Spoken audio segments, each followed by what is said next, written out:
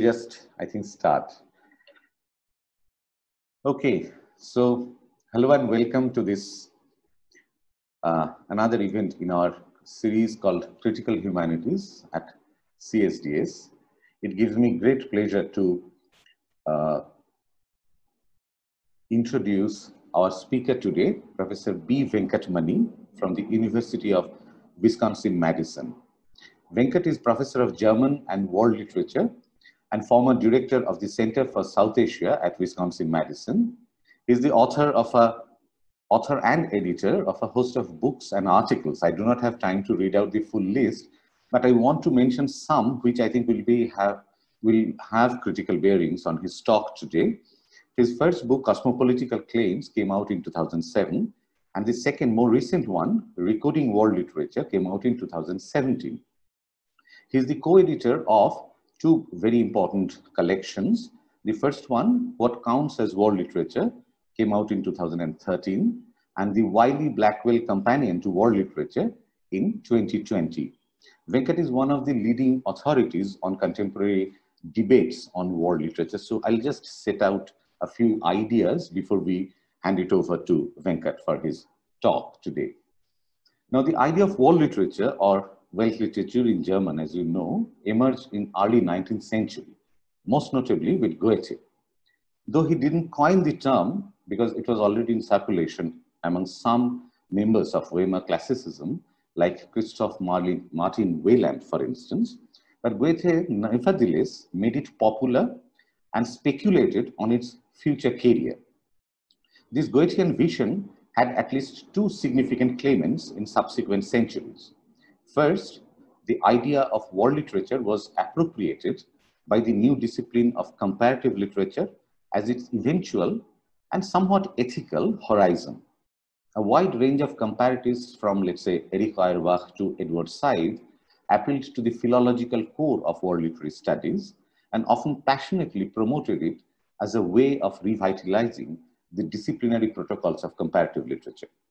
And second, world literature also functioned as a diffused idea and a code for literary excellence in publishing, in book trade, and also in different kinds of print cultures.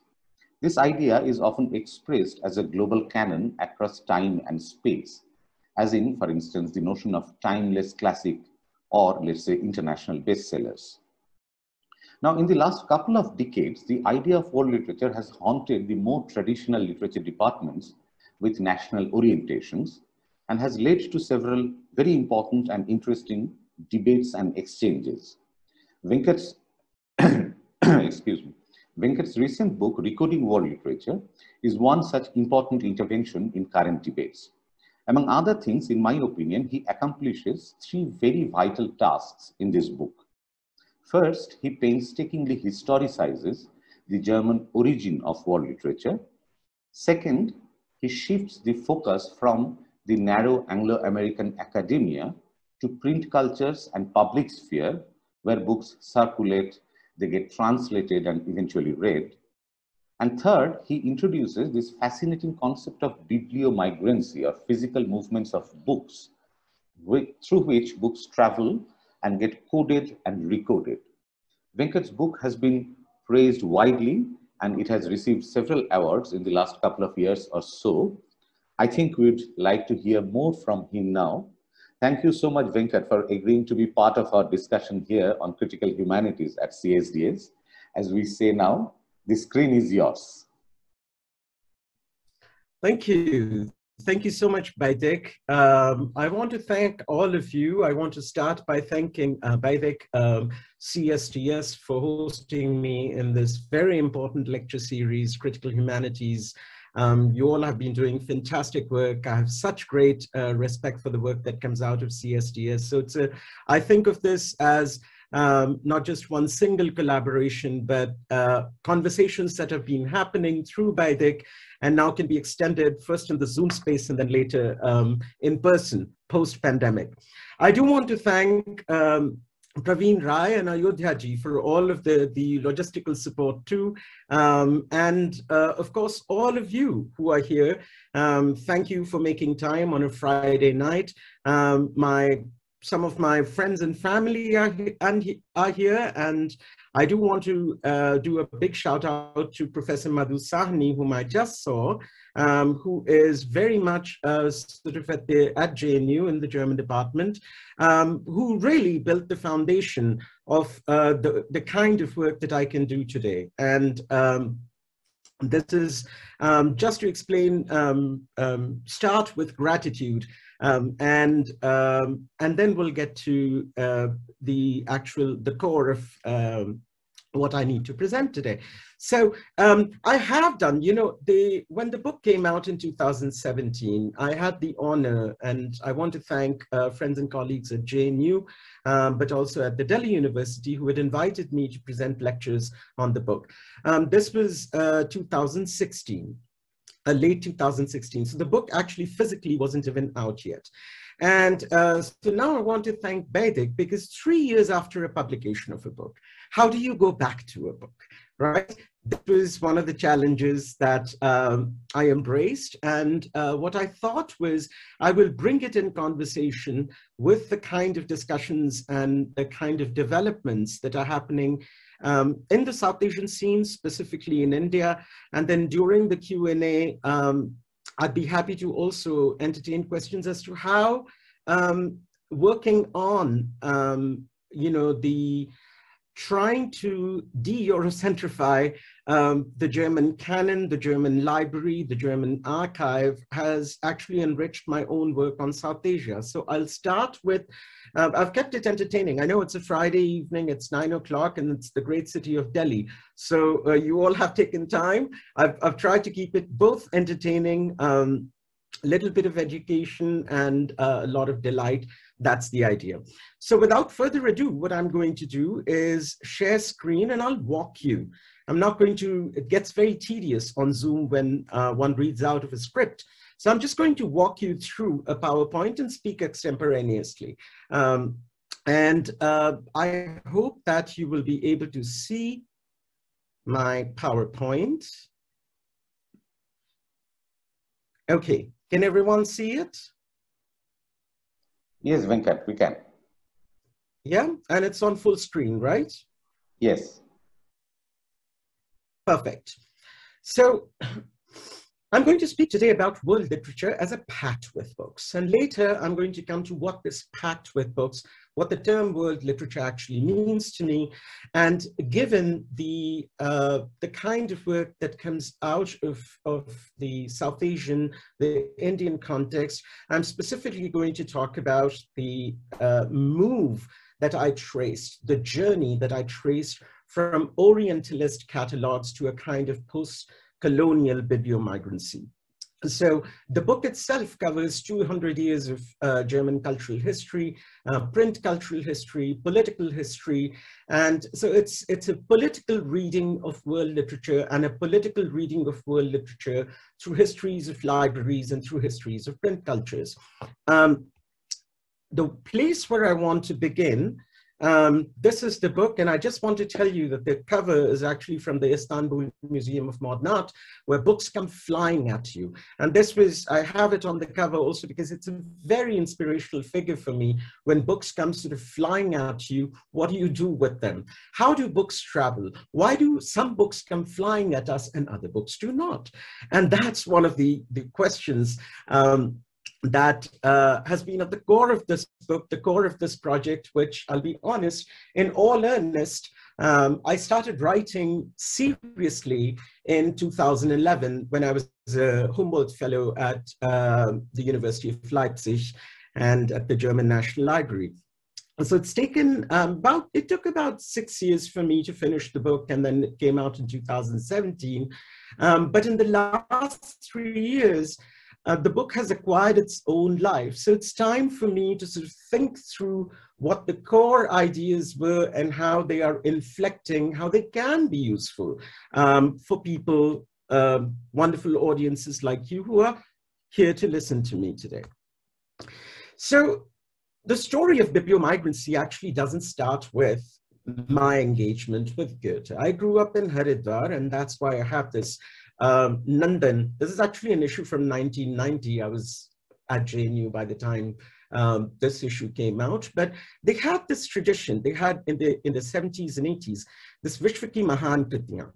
And I used to love this particular. I used to look forward to this particular column. Um, in Nandan every month because this was sort of a very interesting way for me as a young reader to think about stories which were not from India or were from India, but then were mentioned as Mahan Kritiyan. I obviously, as a child, I didn't ever think about, you know, what Mahan Kritiyan, etc. is, because I was more interested in the plot and characters, as most people do. And later, I would come to this little um, um, section that they had about where it came from. So here you can see this is um, Vishwaki Mahan Kritiyan Prakrit. Um, there was French, there was German, there was English, you know, there were all kinds of stories that were told in such a beautiful fashion that uh, for years, that was one of the reasons why I loved this book, Nandan. Now, uh, this magazine. So that's the beginning of thinking about world literature for me. Of course, um, time makes uh, sharpens your memory. Um, it dulls your memory, but it also sharpens your memory in wonderful ways. And um, in 2009, when I was in, in Delhi, I had this great honor of actually going to the Nandan office and meeting the person who um, was behind this, the, this idea. And so that was a very gratifying experience for me. The next is this particular text, uh, Dostoevsky's Aparadh Aur Dand. So I come from a lower middle class family and I loved reading. And so my whole idea was to spend the least amount of money and to buy the fattest book so I could read it for the longest time. And I had absolutely no idea, you know, and those of you who are from small towns or those of you who grew up in pre-1990s India, you remember those wonderful Soviet book vans, these bookmobiles they, that used to come in small towns, um, but perhaps also in big cities. And that was uh, for us, that was the biggest attraction, right? Um, I mean, there was Kumbh Mela that came every 12 years, uh, where the National Book Trust came and did this whole big pradarshini, you know, this exhibition of books published, and many of them were translations from Indian literatures, but also um, but also uh, international literature. And of course, uh, in those days of, of Indo-Soviet friendship and whatnot, um, you had these bookmobiles that would come into small towns and um, Dostoevsky's Crime and Punishment, of course. And I picked it up when I was in eighth grade. Of course, I had no idea who Dostoevsky Dostoevsky was and what this massive, I mean, years later when I read it again, and first at JNU and later at Stanford, I thought, you know, what the hell was I thinking when I was reading this Dostoevsky? But I read it simply as this young man's story, Raskolnikov, who murders a woman.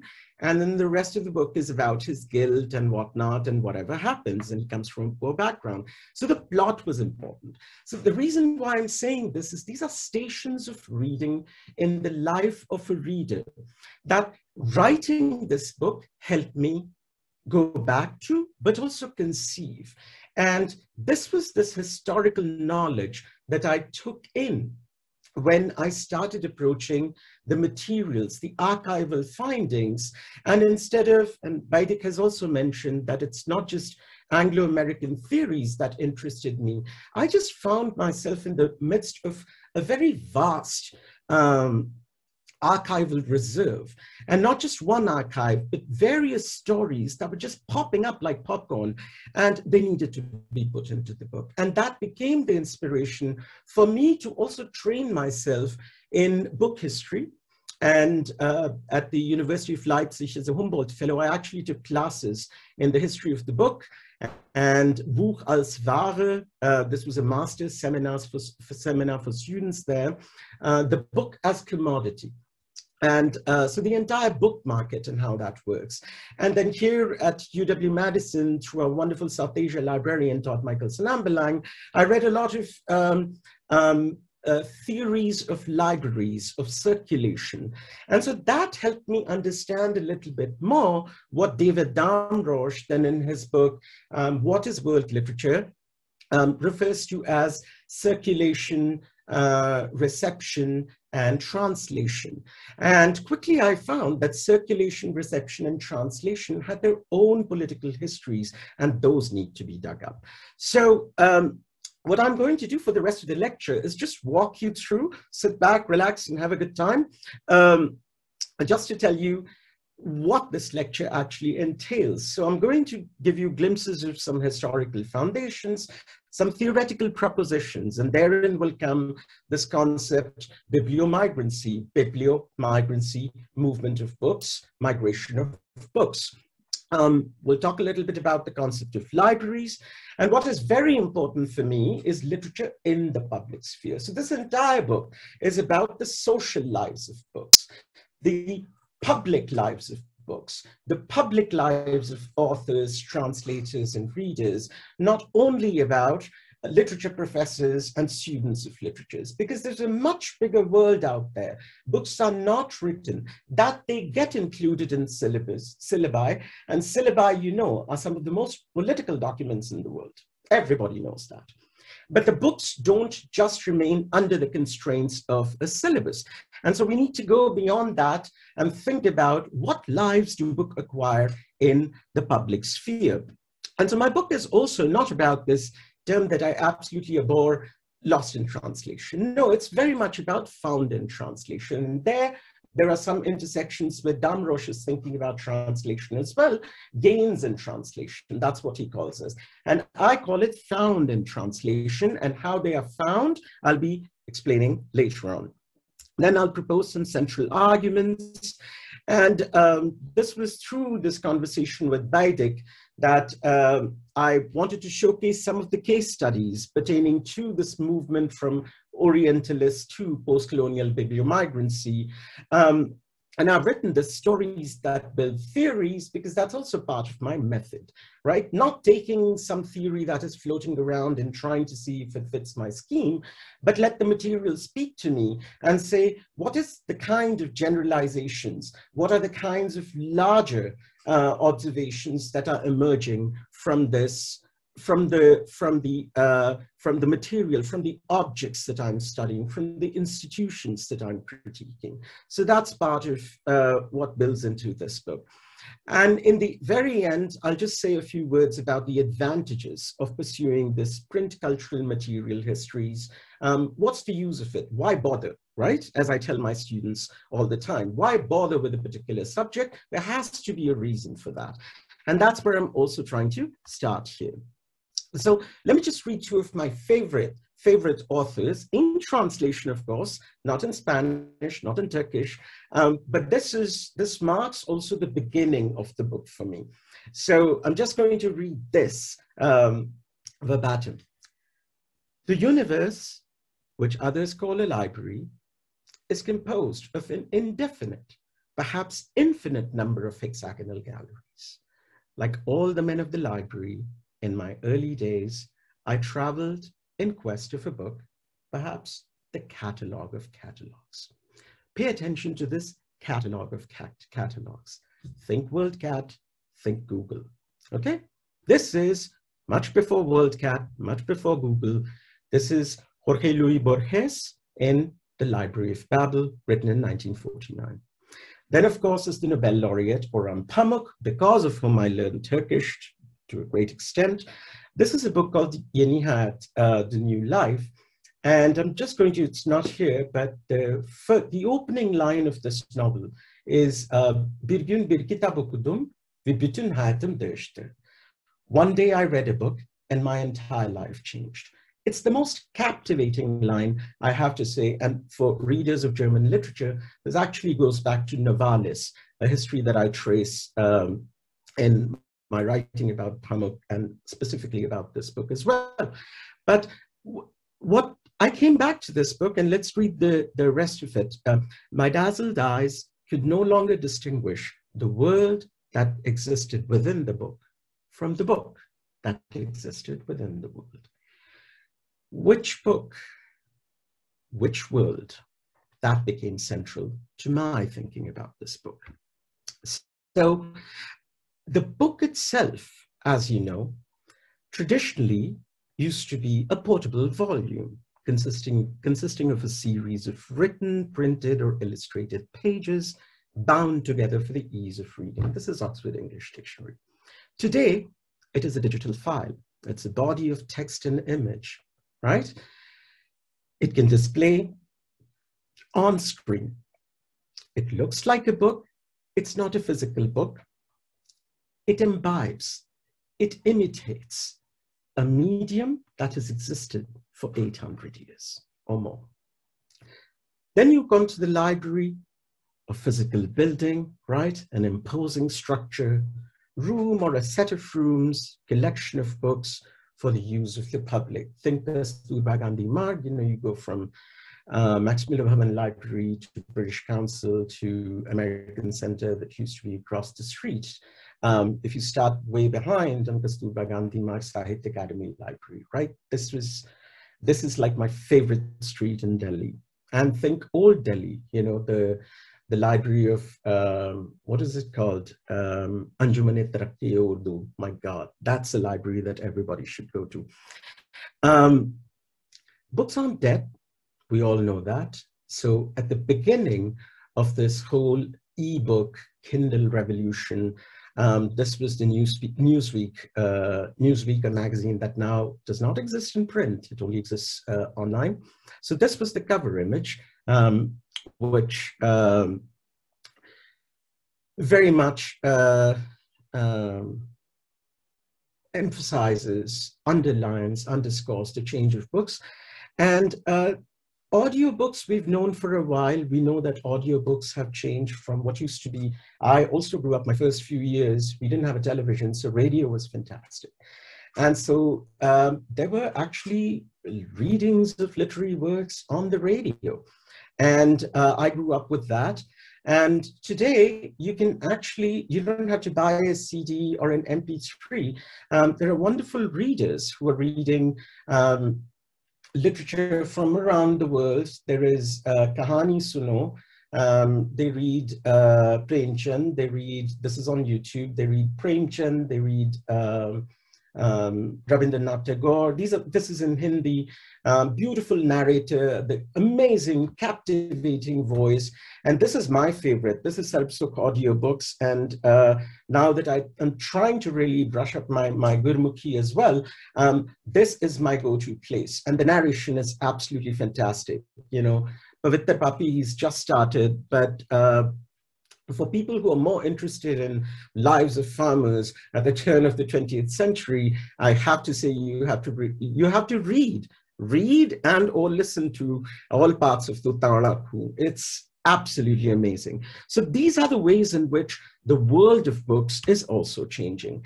And then of course, the library right? I don't have slides of many digital libraries. You all know you've been accessing materials on PDF and you've been going to um, you know, various um, databases to do your research and, and uh, you used to be able to go to the library. The library comes to you now in different ways, thanks also to our librarians who actually, there is someone who actually does this work. Okay, so this is not some free-floating, um, automatically generated material. But this is where the project also gained a very different angle. I was supposed to, uh, I organized actually on the 25 years of, of uh, German re reunification, um, a conference.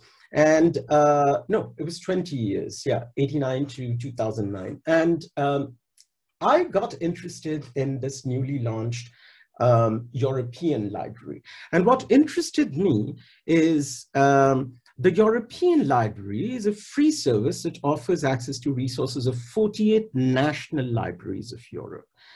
And then comes, what is a national library? A national library is a library specifically established by a country to store its information database.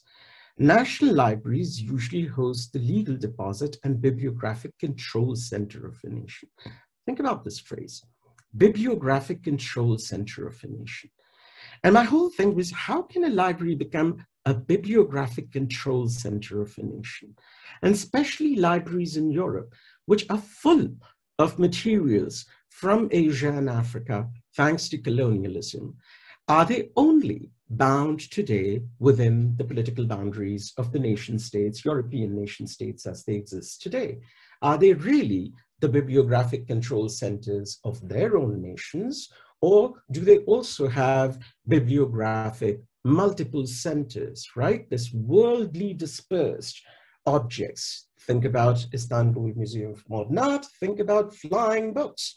Um, aren't there really centers, um, these polycentric book dispersion, book movement? How can that have a singular European center? In other words, this was the most Eurocentric definition of a library, even in the digital world that I came across. And I thought I wanted to study this. And so I got a little grant to go to um, The Hague, where their, their um, um, headquarters are. And I said, uh, you know, I'd like to come and, and research and archive. And they wrote to me and they said, everything is available on, on digitally. You don't even need to come. And that just struck me as it's something massive has happened here. Because if I do not need to go to an archive to research the history of a library, there's obviously a much bigger change that is happening. This was 2009 that one needs to think about. And out of these multiple sort of um, events, accidents, um, stations of questioning is what led to um, the birth of recoding. So coding and recoding. And during the Q&A, I can expand more about why I played with the word coding and recoding. And so for me, the central idea here was, no, it's, it doesn't have to be about ownership. It has to be about borrowing privileges, a term that I can open up later on. So my book essentially, what does it do? it exposes the dual valences of the term book, of the term library, as commodity and culture, as a material, as an intellectual artifact. And what I try to establish here is that material histories of books and libraries actually enrich our conceptual catalogs of world literature or of categories such as national literatures, post-colonial literatures, um, regional literatures, South Asian literature, African literature, right?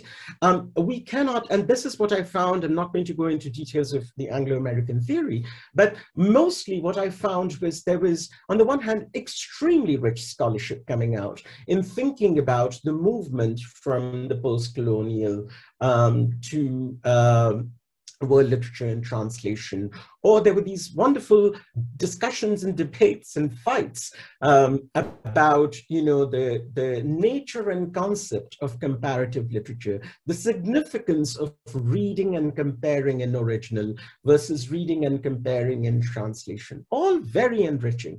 But I thought these were also happening sort of almost at a distance from what one would call the actual world of access to the original, to the translations.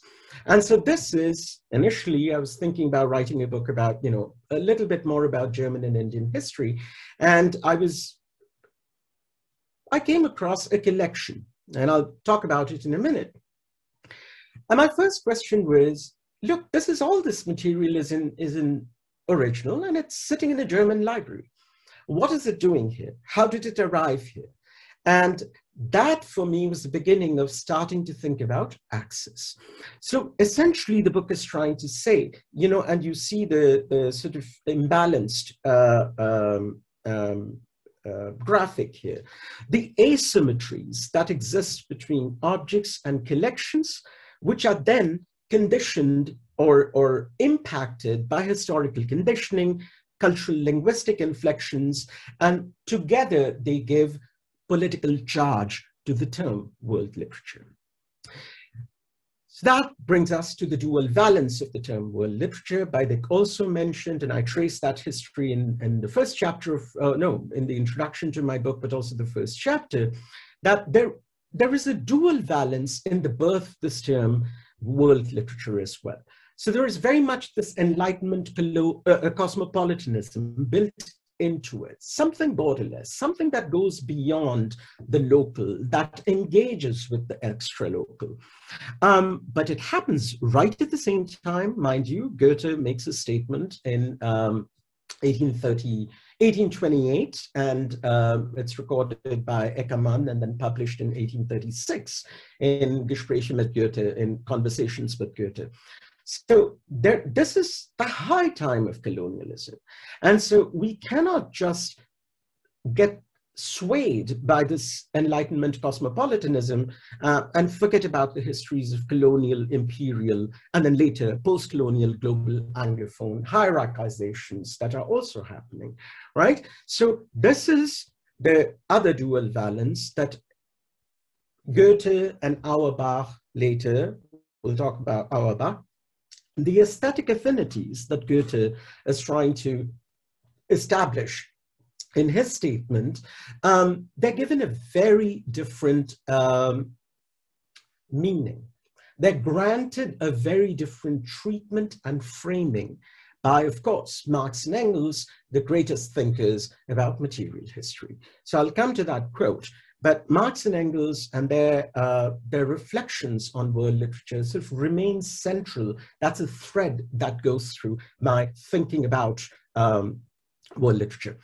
And uh, that's where I get curious about Orientalism, about translation enterprises, about the empire of books. There were these grand statements being made, at least in Germany, ein Bücherreich, an empire of books, acquisition of mass collections, then nationalist dimensions. And this is something that nobody has actually discussed. And um, people must discuss. World literature is not just connected to Enlightenment cosmopolitanism, definitely not in the 19th century, later in the 19th century in the German context, and definitely not later in the 20th century in the Nazi context, because this term is actually manipulated. It is, it, it, it is laden with nationalist fervor.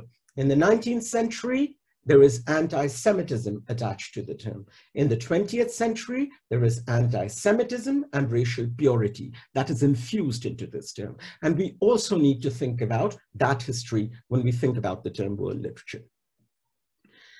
So the central questions of the book, of course, are what do books and libraries tell us about the terms world, literature, and world literature?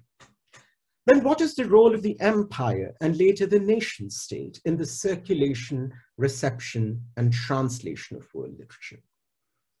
Most importantly, how are reading publics created, right?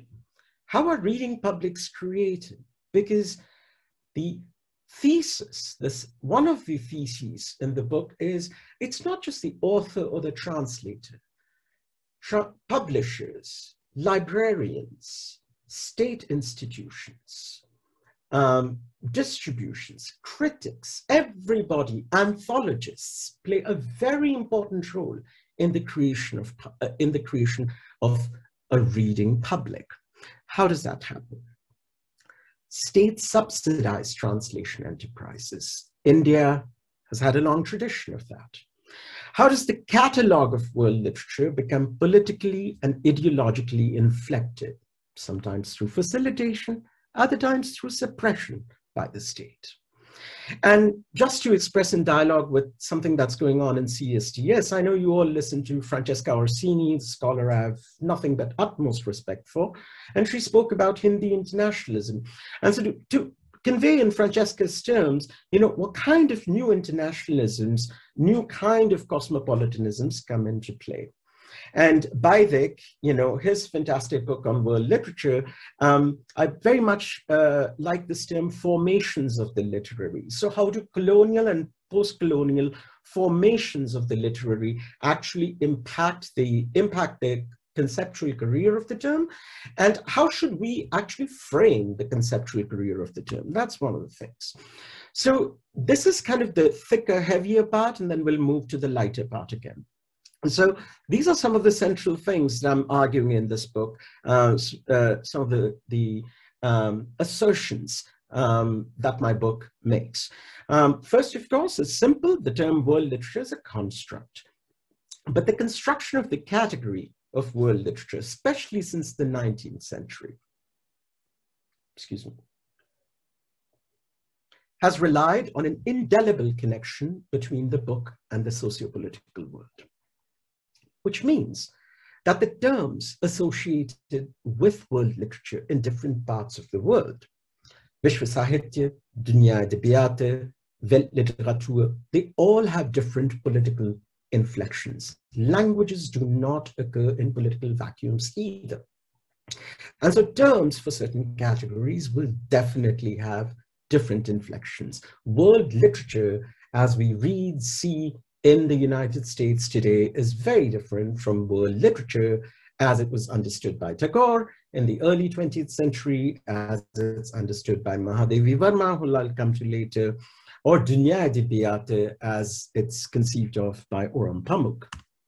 Um, second, libraries in their multiple meanings, a house of books, a series of publications, um, a digital surrogate later on. So libraries have served as important way stations in the collection and dissemination of world literary texts as books or manuscripts in original and in translation.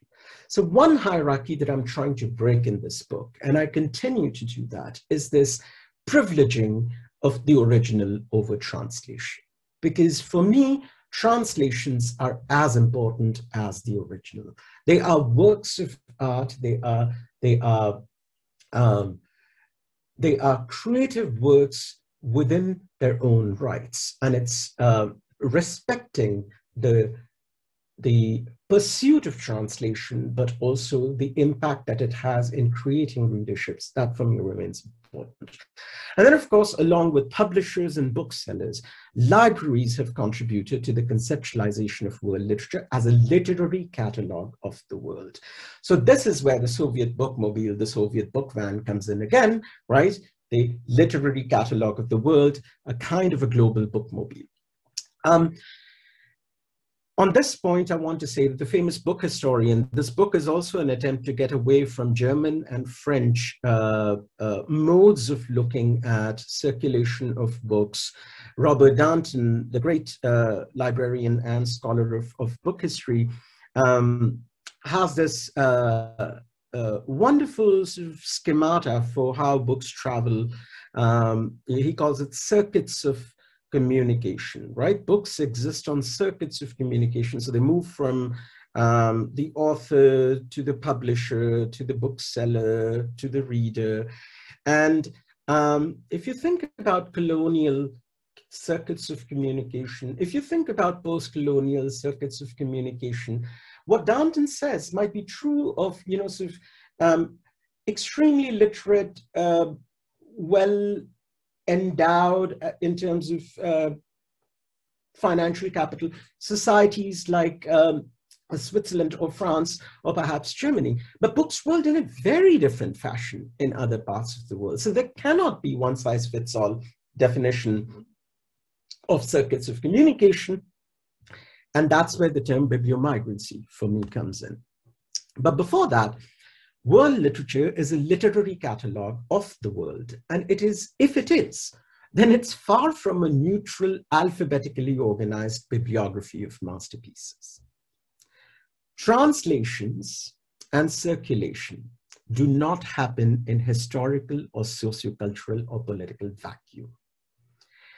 And then the proliferation of world literature in a society depends on its relationship with print culture, or now one can say digital culture. This is where the pact with books come in. And it's a Faustian pact. Faust, we can talk about it. It's a pact with knowledge. It's also a pact with the devil. So bibliomigrancy relating to books or migration. And this is, you know, uh, Baidik mentioned cosmopolitical claims. I consider myself someone who likes to think about human migration as well as uh, migration of ideas together. And my work on migration of human beings, my work on migration literature, and especially Turkish German literature, um, helped me a lot in thinking about this term bibliomigrancy. So moving, moving to a different place, simply stated, bibliomigrancy is a way of thinking about a political, culturally infect, inflected um, mode of the circulation, the circuit of communication that Robert Darnton mentioned. So it's a conduit that helps us think about the historical conditioning, um, the cultural determination, and the political charge of the term world literature, but also of books and libraries. Um, but you can't think about bibliomigrancy also in some kind of an ideational conceptual vacuum. And so therefore I came across these, I not came across, I concocted these four terms. Um, bibliothèque, the library itself, the material or the symbolic space that's created and inhabited by literary artifacts, but not necessarily only literary. I'm focusing on literary just because it has to do with world literature. Then the bibliograph, right? From the space, we move to the actual list, the inventory of such artifacts and objects into a catalog. And um, the um, the name is escaping me, the great French uh, book historian, my God. Anyway, the name will occur to me in a minute. Um, he talks about political inventories of artifacts, and I really like that idea. And that's where, instead of a bibliography, I'm calling it a bibliograph. Graph, writing, right? So not writing the book, but actually writing a list the inventory of books itself. Bibliophile, we all know.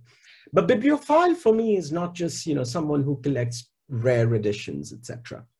I think of bibli bibliophiles as end users, the readers and authors who exercise agency, imagine their subjectivities through the bibliothèque and the bibliograph, and of course, this is a term I made up too, the bibliophobe, the bibliophobe is a person, agency, cultural collective, an ideological entity or state apparatus that recognizes the power of books in libraries and therefore simply impedes access to them, right? This is where the um, कहते हैं ना कि वो censorship का नाग जो होता है वो अपना फन उठाता है this is where you see that thing happening where books are banned books are burned we can think about it.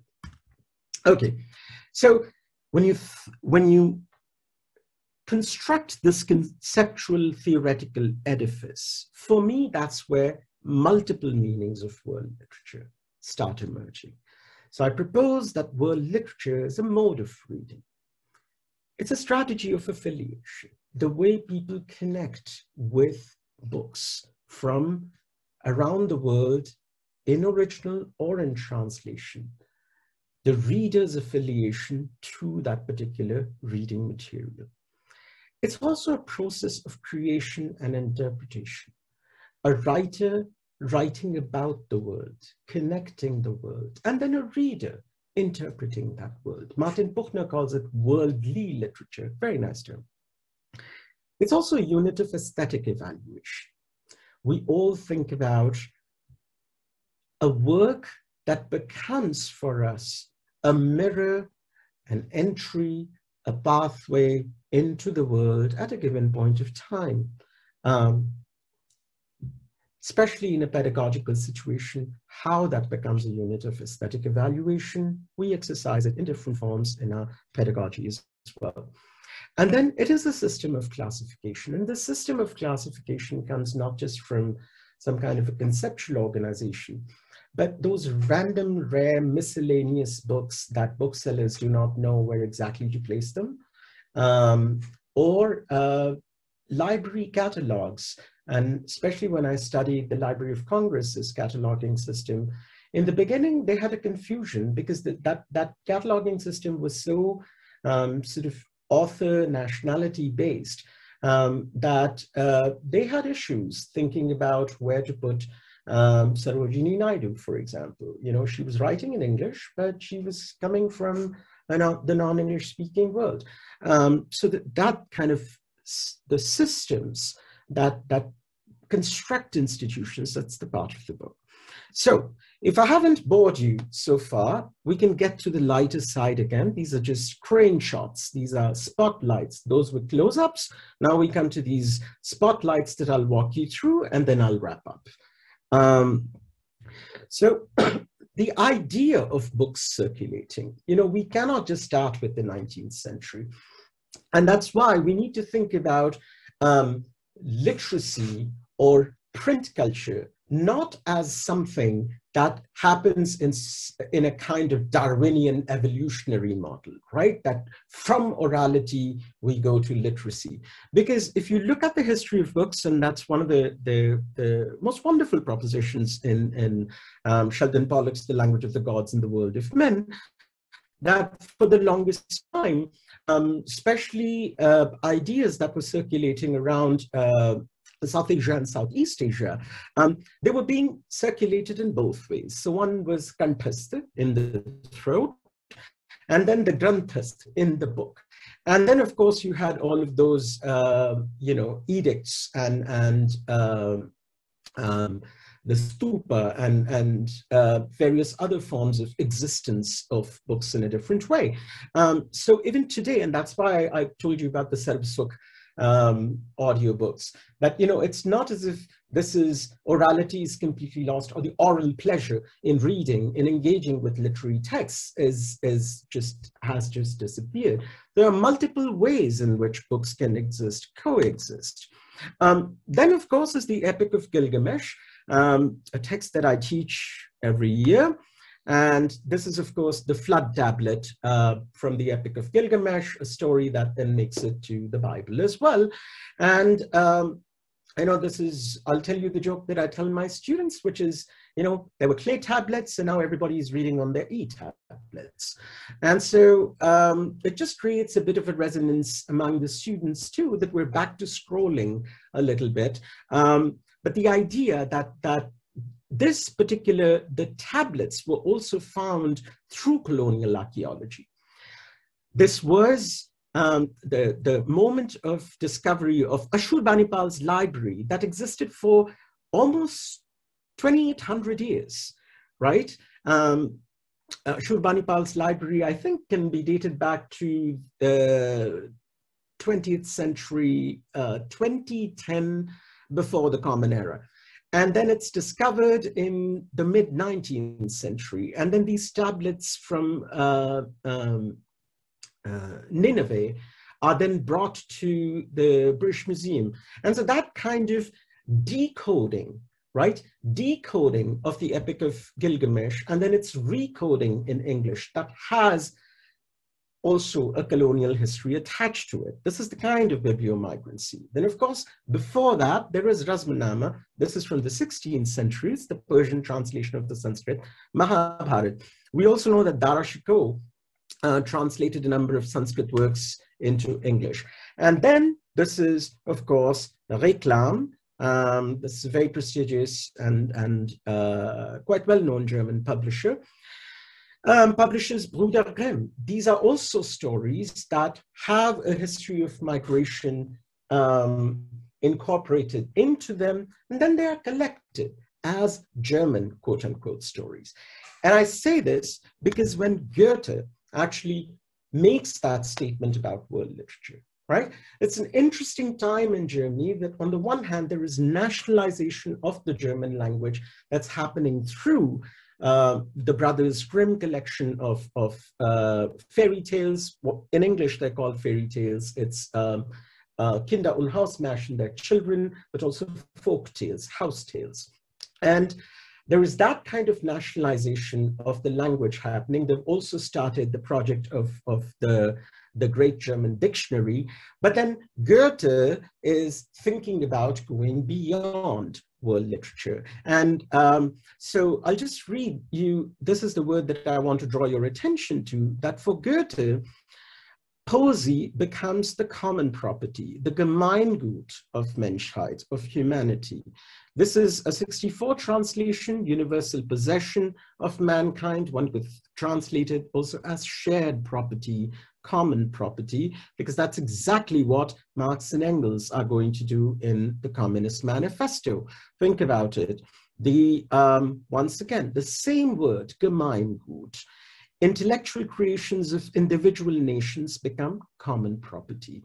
And so this is the time when um, uh, Marx and Engels are actually reflecting on the bourgeoisie's exploitation of the world market and the consumption, production in every country, um, as in the material, so in the intellectual production. As in the material, so in the intellectual production is something that we can see in the current state of globalization, post 1990s, where the book as a commodity and as culture, literature as a commodity and as culture acquire the central, um, acquire quite a, quite a new uh, um, meaning.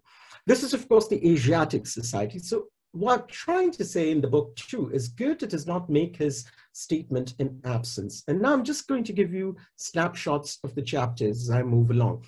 Um, this is, of course, the Asiatic Society Library, and this was a big uh, archival find for me, the, uh, the uh, presence of this very well thought out Oriental Translation Fund.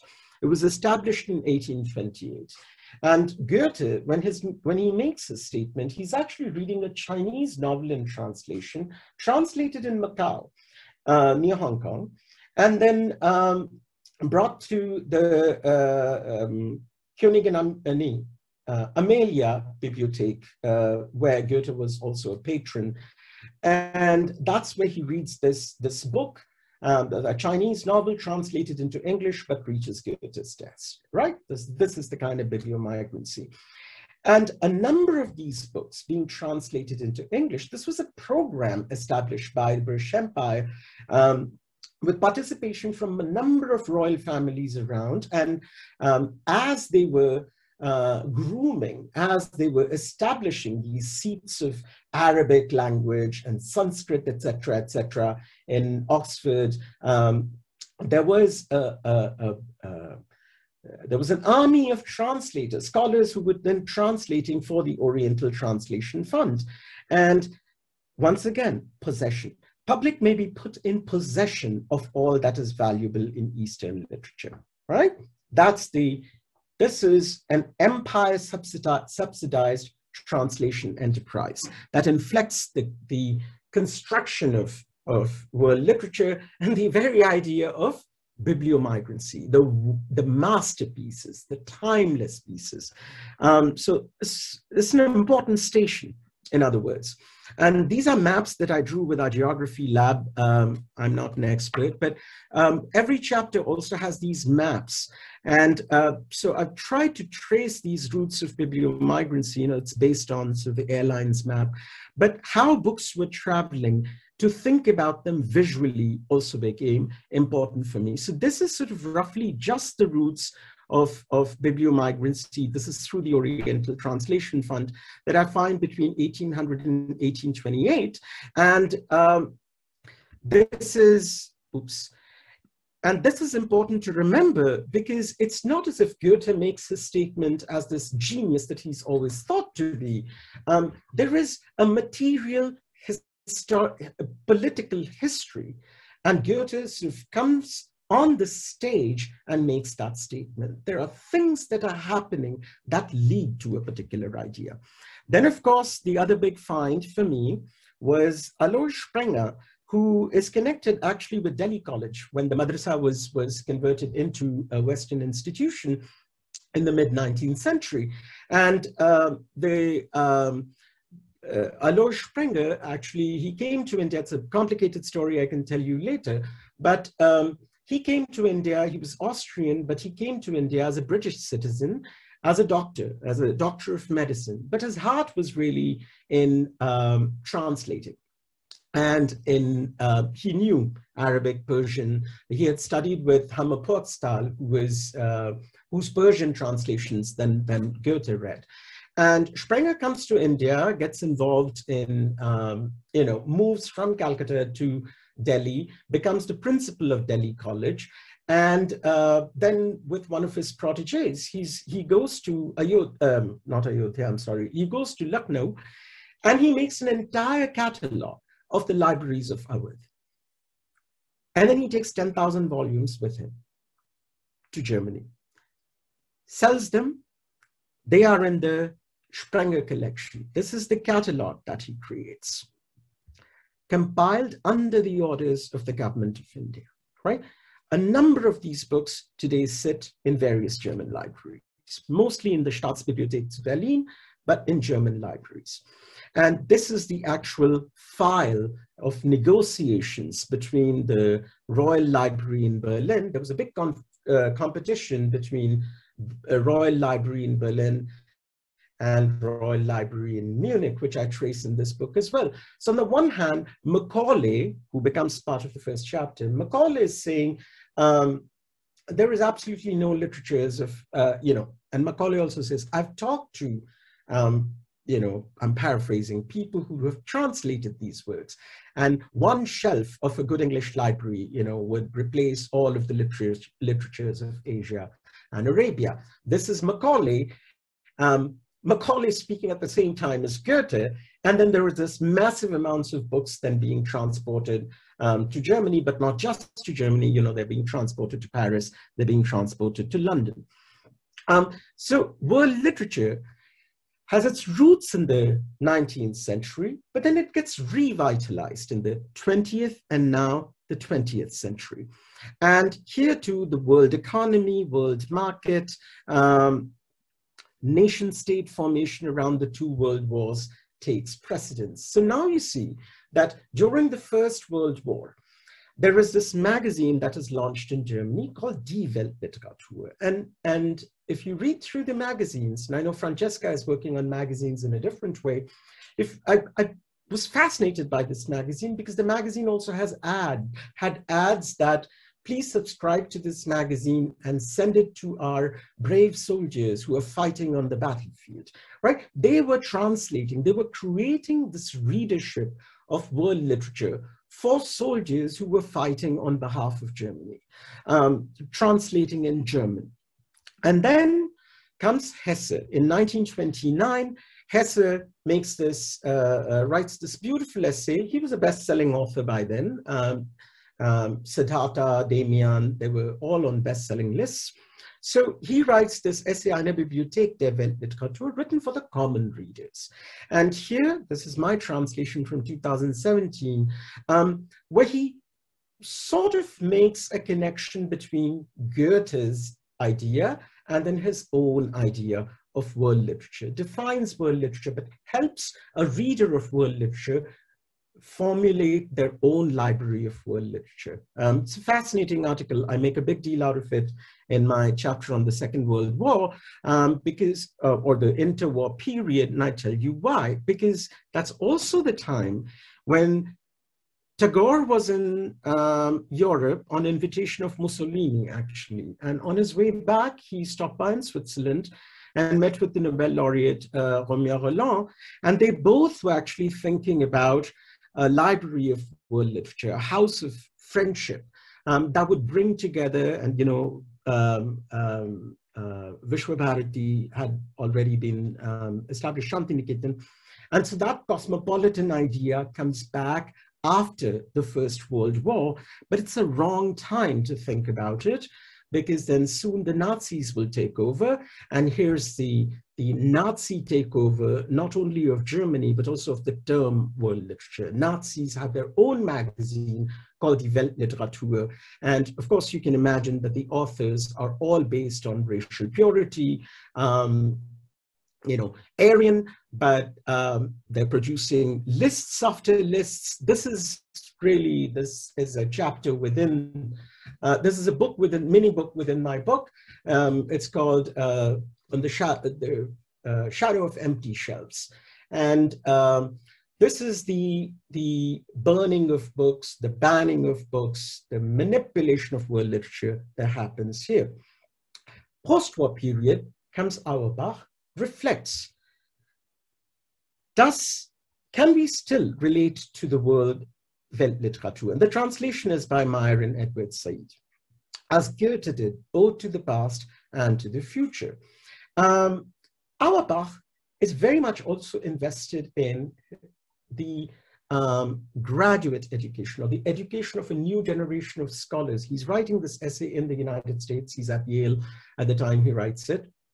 Um, but the tension that he sees, it's almost, and in my reading of Auerbach, I also make, uh, a, I, I was struck by sort of how utterly incapable he is of grasping the new political reality of the world. world. Because our, for Auerbach, um, Chinese literature or Indian literature is not really at par with literatures from Europe. So it's a very, very Eurocentric statement as well. Um, this becomes important because Auerbach is doing this in the United States, whereas now starts an ideological division. This is the Reclam um, publishers, and this is very socialist brochure, as you can see. Eine neue Zeit erfordert eine neue Schule. A new time uh, looks for a new school. And what kind East Germany is the one nation that I found which actually had a program of world literature, of reading world literature, starting with um, high school, gymnasium. So they were actually, they were very invested. This is in Leipzig, this is divided Germany. They were very interested in a humanistic education, a socialist upbringing. So what do they start translating? Tagore's Letters on Russia, um, Thakur Um, this is uh, a collection of Indian essays with an introduction by Khwaja Ahmad Abbas. Um, then, of course, Premchand's Nirmala. Um, this is interesting. These are stories from Mauritius that they actually, Mauritian Hindi literature, that they get translated. Bhisham Sahni's Basanti. So there's an entire program of translating world literature, but not just from India. Um, I trace, you know, what books from Latin America, what books from Africa, they were also translating. And then I come to the European Library, um, the digital surrogate that I've talked about already. So, few things in conclusion. One, the story of world literature is not a single story. It's a multi, it contains multiple stories of access, patronage, affordability, literacy. All of them become part of bibliomigrancy. Then world literature is not a randomly or accidentally circulated, distributed body of texts. To qualify, quote unquote, for categories such as timeless or masterpieces, these heavily laden words, right? Timeless classic, masterpiece, which reeks of the master slave dynamic, that word itself. Um, there is an entire process that leads to the formation, the acceptance, recognition of a word as a timeless word. Then production, translation, and circulation have concrete and complex material and political histories. Medial nature of library has to think about fact and fiction, history and memory, collection and dispersion, order and chaos. And that needs to, set, be taken into account when we think about world literature. The, po the political charge of a post-colonial world literature can be understood if starting with the 19th century, this is sort of the central thesis of my book, we, how world literature is historically conditioned, culturally determined, and politically charged. So what I'm going to do in the next few slides is end with certain post-colonial statements that do not come from Germany. One, of course, and in a chronological order, this is Mahadevi Verma, um, and this is from Sahitya Sanskriti or Sambhashan, is a, a, a, a, speech she gave to the uh, joint session of the uh, UP Vidhan Sabha in 1968. And she says, साहित्य की भूमि पर कालिदास और तुलसीदास जितने हमारे हैं उतने ही पूरे विश्व के हैं और शेक्सपियर और टोल्स्टॉय जितने सारे विश्व के हैं उतने ही हमारे भी हैं हम धरती को बांटने के लिए ऊँची दीवारें बना सकते हैं पर उन दीवारों से आकाश छोटे छोटे टुकड़ों में नहीं बच जाता हम बादलों को तौल कर नहीं बांट सकते हम प्रकाश की किरणों को नाप कर, वितरित नहीं कर सकते। वो प्रत्येक के होने के लिए ही हर एक के दिस इज़ अम वो प्रत्येक के होने के लिए ही हर एक के वंस अगेन द आइडिया गोटियन और Marx and Engels idea of this universal possession this combined good is phrased very differently by Mahadevi Varma right they belong to everyone in that they belong to each one. Then, of course, comes uh, Orhan Pamuk. Um, this is from, I'm not going to read the Turkish part, this is from his work, uh, Renkler, uh, Other Colors. Um, and he talks about literature as much, literature is as much a delicately constructed memory as it is a subtly constructed forgetting. World literature, he says, has a global fraternity of readers, influences, borrowings, and infatuations that counter the frightening power of nationalism. Taking from Goethe that pedantic arrogance that Goethe speaks about, but making sense of it in a very different way, at a distance from Auerbach. And of course, we have the American author, essayist Susan Sontag, um, and this is a speech she gave uh, right after 2007. Um, to have access to literature, world literature, was to escape the prison of national vanity, of Philistinism, of compulsory pro provincialism, of inane schooling, imperfect destinies, and bad luck. Literature was the passport to enter a larger life, a zone of freedom. Let's see how its zone of freedom is playing out today. One, of course, this is Seagull Books Calcutta. This is not a one-way street, world literature. So instead of Reclam uh, publishing translations of Indian works into German, today we have this correspondence between Max Frisch and Friedrich Dürrenmatt, two great Swiss authors, translated by um, a German translator, but published in India, in Kolkata. Then, of course, Jaipur Litfest, everyone knows it. And this I love. This is from just this morning, Zubaan Books, another great publisher that I have great uh, respect for. For the first time, your favorite feminist ebooks can travel directly from us to you. This is feminist bibliomigrancy at its best. And last, it's not just the grand libraries that bibliomigrancy of world literature attracts us to. These are the kind of libraries that draw, mm-hmm. have drawn my attention and will continue to. This is in Kerala, and I love the qualification. Mr. Chinnatambi is 73. He's a tea vendor, sports club organizer, and librarian. And look at this grand library. For me, it's one of the most beautiful libraries in the world. Last, Shahid Bhagat Singh Library. This is from the Singhu border. Um, this is an article in the Telegraph that I found a couple of weeks ago. And it's a movement that I've been writing about as well. Um, the reason why I want to end with this is the last sentence of my own book. To understand our own pact with books, all we need to do is unpack someone else's library. I thank you all.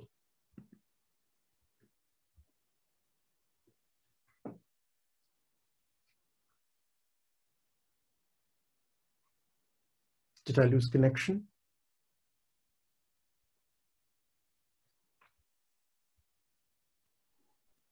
Thank you, Venkat. Thanks a lot. This was a fascinating talk and it brought together so many things.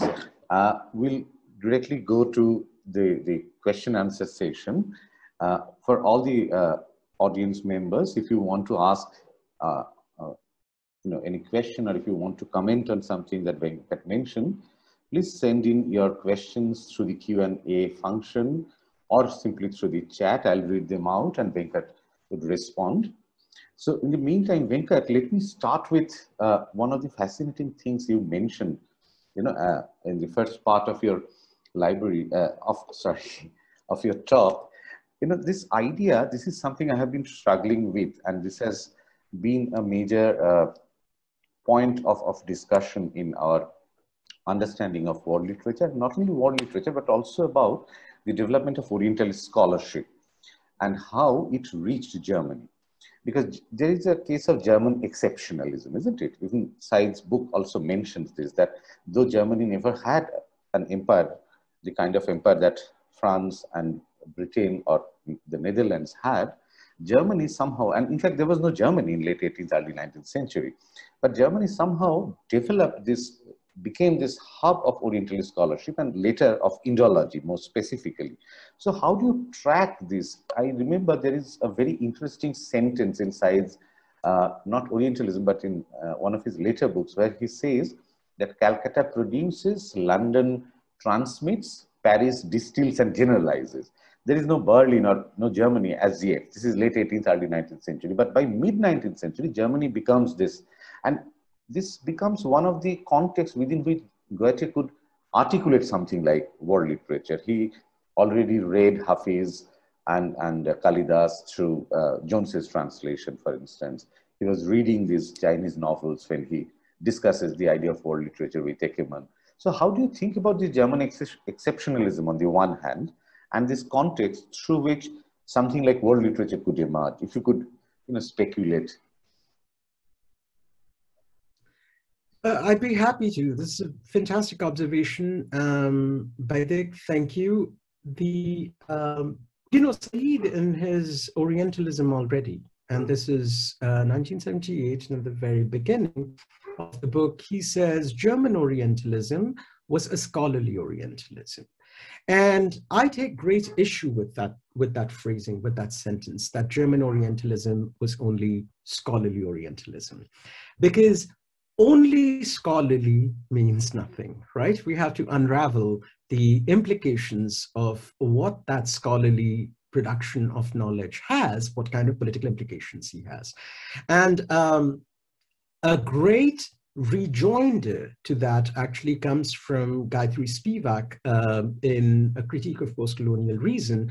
And in that book, at the beginning, she talks about Germany in the 19th century as a place of birth of difference in comparison. So she talks about the world family of languages. She writes about, you know, the birth of comparative literature, comparative religion, comparative linguistics. And that for me becomes an in into both taking issues with Said's statement, but also taking Spivak's statement to a different level. So there was actually, you know, there was a, a, known statement, given the print cultural landscape of Germany in the early 19th century, there was a massive effort, both among scholars, and remember, this is enlightenment at its highest, right? So the print culture is exploding in Germany. That's when, um, in the absence of, of actual colonies, the statement that is made is Deutschland, uh, I mean, it, the idea is not Deutschland, but it is an empire, it's a Bücherreich. Even though Deutschland does not exist as a political entity as we know it, won't until 1871, um, there is a, an effort that there will be an empire of books. That creates, leads to the establishment, and see, this is where the academy becomes very important. That leads to the establishment of major chairs of Sanskrit literature, um, of Indian study, Indic studies um, in Leipzig, and then the Brockhaus, the big encyclopedia families invested in it. So, I mean, that, so there's a print cultural development. It's not at the same scale as in London or in Paris. So there I will give Said, you know, his statement.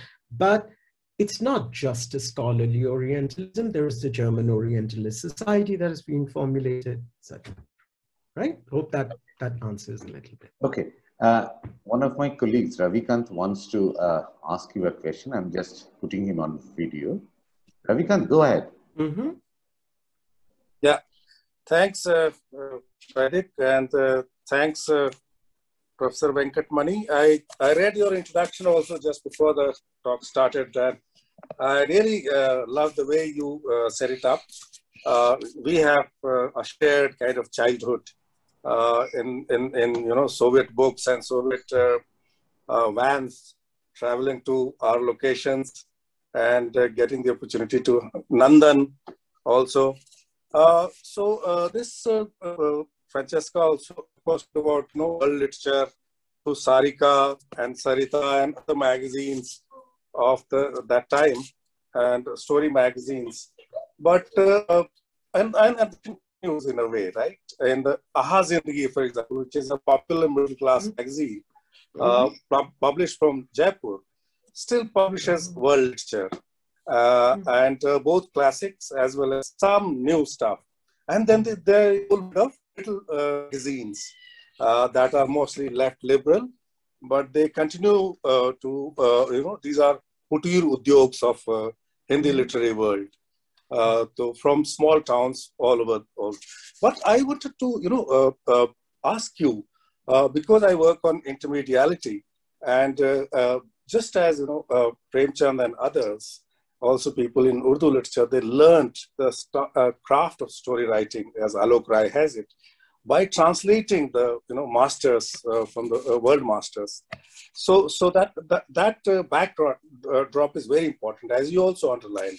That translation is is is, a, is a phenomenal uh, kind of a creative exercise, which also shapes the actual original works in several areas.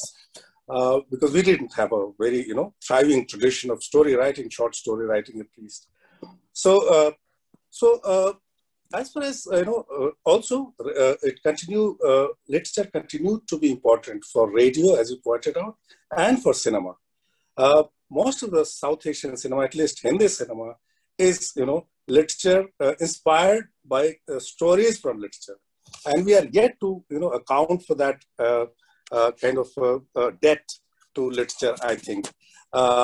it has been dismissed so far, not, not really engaged with. So also, it was literature which supplied the initial, because most of the people who worked with radio did not had had no uh, mastery over the technique of uh, broadcasting and there was hardly any school so it is the uh, either the tawaifs who were performing, right, uh, in the real world, or the Dastan goes others, or it could have it to be the, the, the uh, uh, mostly of Urdu and Hindustani as well as Hindi when India becomes independent. Because Urdu is changed out of India radio establishment and Hindi replaces it at least in Delhi and in Hindi uh, areas. So so there is a kind of nationalistic uh, turn uh, that uh, uh that uh, takes place uh, at the in the post-independence period as well. the way departments are defined, the way departments at AIR would be defined, and stuff like that. But with the coming of the internet, these there is a possibility now where the the old boundaries or the old walls between languages get broken uh, in, a, in a new way. So you, if you look at the first generation of websites, uh, Hindi, Urdu are together. You don't see, if you look at Rekhta now, which is a thriving website, you have Hindi and Urdu together. And also, now you also, uh, we are also transitioning uh, the world of books in a way, books as printed objects, because we are going back to a more natural, uh, you know, state of language itself where the audio is more important, oral is more important than the written and the printed. And so the languages that lost out, for example, uh, you know, uh, lost out on the print bus, they can also make a comeback. So future of the new is a new internationalism will have to be include languages uh, that uh, were not modern languages, uh, uh, uh which I'll, I'll, stop now. So sorry, I've, I've, I've been uh, made a long winding comment, but you can choose to react on whatever part you wish. So it's a rich set of ideas. Thank you. Uh, thank you, so much. Uh, it is a very rich set of ideas. And uh, what I'm going to do is Venkat, just one second. Uh, we have few more questions. Would you like to take them in a bunch and respond, or would you like to uh, respond individually? I can do that. Let's give, you know what? This is audience's time. So let's give everyone a time to speak. And I'm I'm making notes as you see. So okay. I can I can then bundle it up. Absolutely. Great. So we have one question uh, from uh, one of our uh, audience members, Babu Thaliat. Uh, I can't make you visible. Prathama had also had a question. Yes, Prathama, I see a whole bunch of them. Yes, three of them already have questions. Babu Thaliat, please. Uh, yeah. Go ahead. Go ahead. Hello, hello, Venkat. Hi. Hello, hello, Babu. How are you? Hi, hi, Fine, thank you. Thank you. So nice to hear you, Venkat, and especially in this pandemic time. Can you hear me? Yes, I can. Uh, yeah, I mean, it's just uh, like it's uh, based on the first question. Um, uh, I mean, uh, I think uh, the German literature has a unique character history, and and and I'm I mean the literature from Lessing to like say Kafka. it's the parallelity between the German intellectual history, the Geistesgeschichte, and the literature epochs, literature epochen. So from Aufklärung to Sturm und Drang and then classic romantic uh, realism, uh, naturalism, symbolism and all. So I think this could be one of the reasons why the literature, um, uh, in, I mean, even though Germany uh, had no colonies and it was not an imperium like uh, Britain or France, but because of this nexus with the Geistesgeschichte or the contextuality, I mean, the literature being together with philosophy and other uh, areas of humanities forming a Geistesgeschichte, the intellectual history, that, that literature automatically uh, uh, became world literature. I mean, the sense that, uh, you know, crossing the boundaries and barriers along with philosophy. And this is just a speculation. I would like to know your, I mean, hear your comments on that. Thank you. Thank you, Babu. I'm just collecting. Um, I have some, I know Prathama had a question, but yes, I'll just. Uh, Balu and Gaurav have typed out something. So, uh, Baidik, I'll let you, I'm just telling you, I'm keeping an eye on that. Okay. Uh, Prathama, would you like to go? Sure, sure. Go ahead. Um, hi, um, Venkat, that was superb. It, I, I was just spellbound throughout the thing. So just thinking with you a couple of comments. One, I mean, I've typed out some of those in the chat box.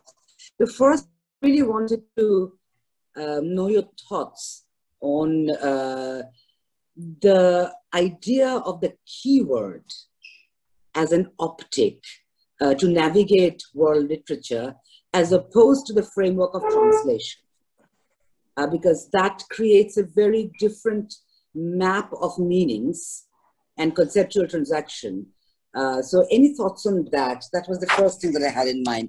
The second was, of course, just a loud thinking about how the story of traveling art objects uh, via exhibitions and museums have been so different from the story of bibliomigrancy, as you put it.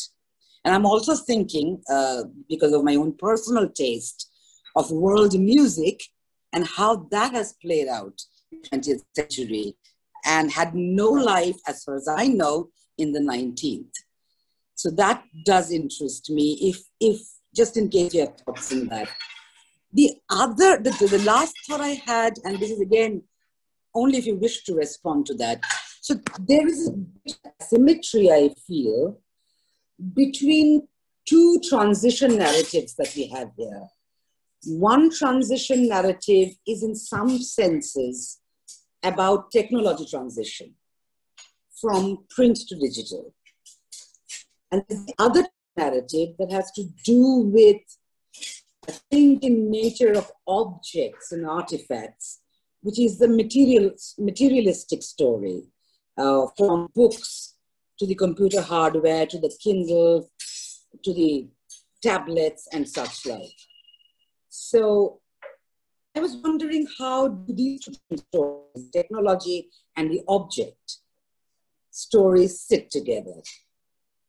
Just thinking with you, but this was like absolutely fascinating. Thank you so much. Thank you, Prathama. So, uh, Venkat, should we take a couple of more or? Yeah, let's do that, you know, because uh, there are some um, intersections too that have started emerging um, for me. And so Balu and Gaurav have questions as well. And I don't see people have more on the chat box. I think two other participants also raised their hands. So we'll just take these two and then come back and take the next bunch probably. Is that okay with you? Okay. So uh, Absolutely. That's completely fine with me. I'll try to, I do want to give as many people a chance to talk because I, God only knows I took my time. It's late in Delhi. So, excuse me. Um, one thing, um, this is react to Ravikant's say on intermediality, the craft of story and the transition, uh, the, the significance of translation. Um, one thing um, for me, this question, and you know, you had a rich set of ideas, but I'm picking up on this, what I found to be the core of it. Let me connect this with uh, excellent observation um, on the asymmetry that she mentioned between transition, the technological transition and transformation, but also change in the nature of objects and the, uh, from what I thought, and correct me if I'm wrong, um, you know, the, the actual literary implications. Prathama, I'll come to world music um, in a little bit. Let me just say by, um, start by saying that uh, in what is, what I haven't mentioned here, um, and that is part of the book, you know, let's give me the big picture. Um, but herein come the nuances that how aesthetic form then becomes into dialogue, right? So starting with Ravikant and the idea of um, the craft of story writing and the great Hindi, Hindi authors also working as translators, um, not only of the works of, um, um, of Western authors. You know, if you think about um, Agyeya translating Gora from Bangla. Or if you think about uh, uh, Shamsher Bahadur Singh, actually of all people, translating Alice in Wonderland into Hindi as Ashcharyalok Alice. Um, so there's a, there's a much longer tradition. What happens there is the adjustment of form, how literary form then becomes inflected or acted out differently. For me, that is where Goethe's incorporation of the third prologue in Faust, right, which is which takes straight from Shakuntala. It actually uh, this comes after you know the translation of Shakuntala into English and then into into German. Um, that particular prologue is very much about it's a dialogue between the actor, the uh, you know um, the actor, the director, and the playwright, and that is being communicated to the um, um, to the public. So um, this formal traffic also happens in two different ways. So it's not just that the short story, the form of the short story acquires a different meaning. Short story, of course, has a much longer tradition without being called short story, right? The Kalpakatha and, and um, whatever have you. There's a much longer tradition. But the story in the modern Western European sense, how that gets inflected, that's not just like a one-way traffic. That's happening with that, and Amir um, he's a friend. So Amir Mufti calls it the Sanskrit mania, right? That happens, uh, and Vedic has written about it.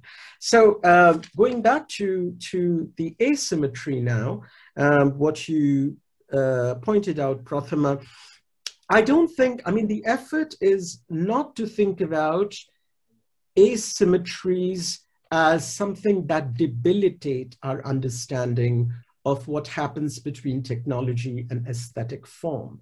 For me, what becomes important is with this explosion of print culture technology, where you also have Hindi and Sanskrit works being published. Um, I mean, there are machines that are occupied, uh, uh, occupied. There are machines that are required.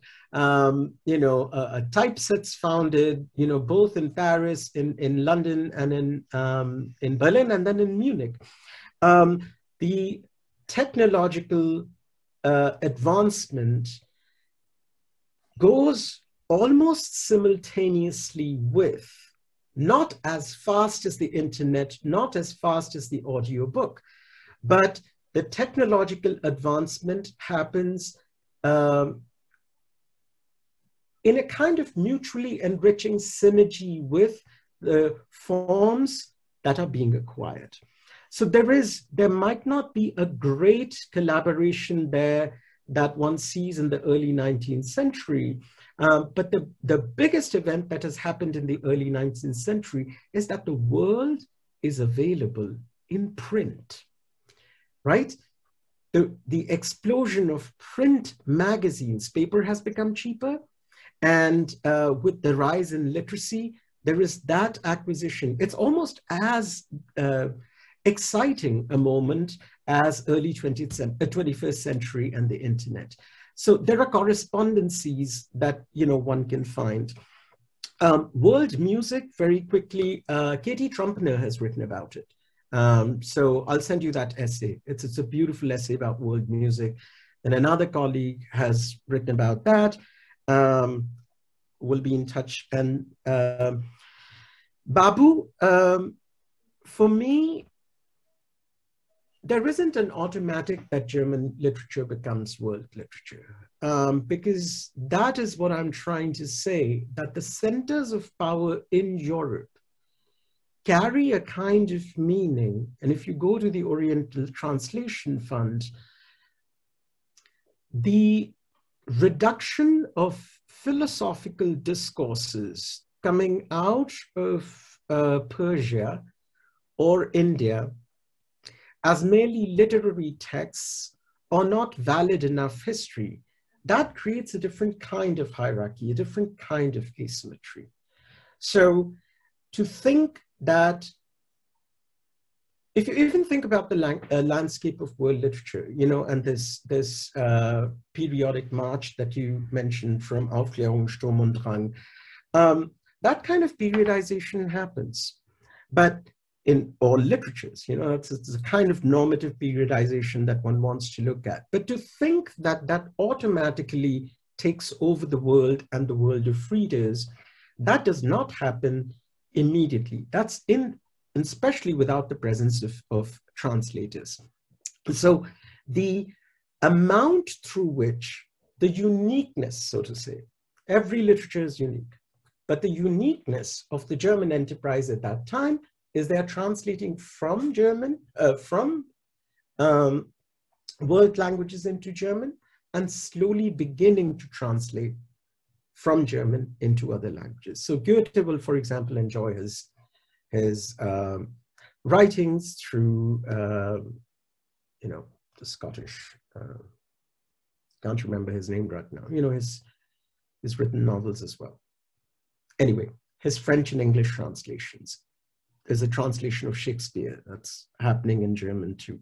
So I don't take so the superiority of a literature, because it was so important, because of Aufklärung, etc., as a way of its circulation um, around the world. There is a mechanism, there is a vetting process.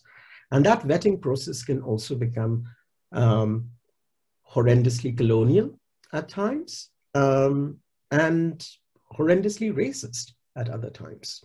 So I think I I see what you're saying, but it's not the, there isn't an, a given that, you know, from Lessing to Kafka. Kafka becomes an entirely different story, of course. Kafka, according to UNESCO, is the most translated German author, um, you know, uh, in the world. But Kafka gets translated in different times for very different reasons. Kafka is not considered to be the greatest German author in for a long part of the 20th century, you know, especially in Germany. If you look at that history, the Bohemian author, it's it's so there are differences. There are differences within Germany too. Okay, shall we take more questions? Sorry, uh, my uh, colleague Ravi Sundaram wants to ask a question, so I'll allow his video. And then we have three questions and one comment in the Q&A. Once Ravi finishes, I'll read those out. Then you can respond to them as a bunch, probably. Thank you, Venkat. I mean, I was transfixed listening to you, frankly. I had a drink and I made myself a cup of tea and then I was, you know, following you everywhere. Now, here's the question. Uh, it's, it's, a very interesting, you know, you, you laid out a whole range of things. Now, I was very curious uh, about one important component of the medial system which is that of copyright. So some of us who work in media studies, uh, you know, infrastructure in a way frames the world. It frames the way we access the world. It frames, you know, Kittler was very clear. It's the it's the it's the eye through which meaning appears, right? Now, I was very curious how the system operates in your overall architecture because what you have is with, with print in the, in the 19th century, the community of readers is not so large as we have now. Today, copyright and the paywall system is really a core component of the media system, right? So how would you rework this, you know, through a more contemporary lens? Happy to. May I quickly answer that? Because that's actually, that's uh, at the core of uh, the study and continues to be. Um, let me start with the infrastructural development, the very physical infrastructure, right? Um, Ravikant, thank you. Thank you both for your comments, but also for this, this important point. Um, the, the physical expansion of royal libraries. Let's start with that part of infrastructure, right? The physical expansion of royal libraries in the early 19th century, especially with materials from former colonies. Uh, oh, not from former colonies, from colonies, British and, and, uh, and uh, French, um, Spanish um, colonies from around the world. Um, that becomes an important part of developing infrastructural developing of collections that can um, that the scholars can have access to, right? I'm starting with something very simple. What that leads to is actually the physical expansion of libraries itself. Actual physical expansion. So the uh, library in Berlin, Staatsbibliothek zu Berlin, it's gone a major renovation just now, right? The old library, which used to be in East Germany, has now enjoyed Berlin. You know, it's been refurbished, recreated, so people can actually have access to these materials. That's one thing that is happening. Second thing that's happening, copyright you mentioned. Copyright is important. You know, I mentioned Reclam, this important uh, publisher. Um, started out, and I've traced this history too. In 1867, they, in November 1867, they will launch a cheaper edition paperback book series called Reclam Universalbibliothek, Universal Library. Why November 1, 1867? November 7, 1867. Because November 1, 1867, all the copyright of all big authors in Germany who died before 1836, right? They have come out copyright. So of course they'll take Goethe and launch the series with Goethe's Faust. So before even you talk about paywall, and copyright. It's not as if copyright and paywall was not important in the 19th century. In fact, Cesar Dominguez has written an entire article about colonial copyright in 1828. So that those concerns continue. But if you think about the, the uh, now you were moving more towards the, the internet, um, the world of the internet is, you know, the, the idea that everything can be accessed. That also tends to be a fallacy because that's where, too, librarians, collection developers, um, I couldn't get to the idea of keyword that, Chash, uh, that Prathama had mentioned, but search keywords, right? Those become important to the development of a searchable infrastructure through which one can have access to knowledge. So this is in brief saying that the concerns that you mentioned are absolutely right. Those concerns can be seen in development of library catalogs too. A very so there's a there's a physical infrastructural development and there is a conceptual infrastructural development. You can you know the example that i gave from east germany where there is a uh, an expansion of uh, um, um, a literary program to develop you know subsidized translations of works from india works from all of the communist friend countries or works from latin america that's part of this infrastructure development somebody subsidizing right? So there has to be that kind of an investment. And um, coming to the internet world, uh, we all know it's not a free for all. Um, so, you know, but those works, how they appear on the international scene, how they are digitized, there is a whole process to it. And same, you know, now Google Books has completely failed the reason why they failed. They couldn't put up the idea, they couldn't balance between whether they are a public, uh, pub, they're there for public good, is it really a republic of letters, or whether they are a profit-making agency, right? So they went with Google Play instead. Anyway, um, Nandan, by the way, is available on Google Play. I found out. I was horrified. Uh, but good for children. They should read Nandan, whether on Google Play or whatever.